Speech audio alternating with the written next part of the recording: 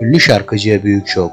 Şişli'deki bir rezidansın 12. katında oturan şarkıcı Zeynep Mansur geçtiğimiz pazar günü evinde ağırladığı arkadaşlarıyla sohbet ederken penceresinin önünde bir drone yani uzaktan kumanda ile hava aracı fark etti.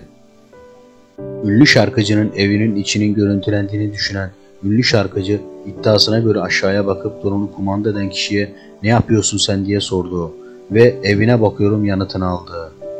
Şarkıcı Zeynep Mansur aynı binada oturduğunu sonradan öğrendiği kişi hakkında karakola giderek şikayette bulundu.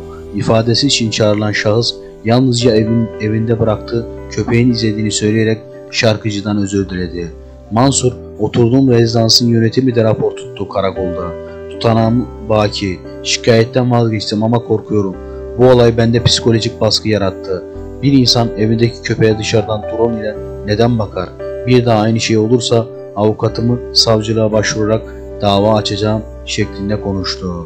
Lütfen siz de görüşlerinizi yorum kısmında belirtmeyi unutmayın.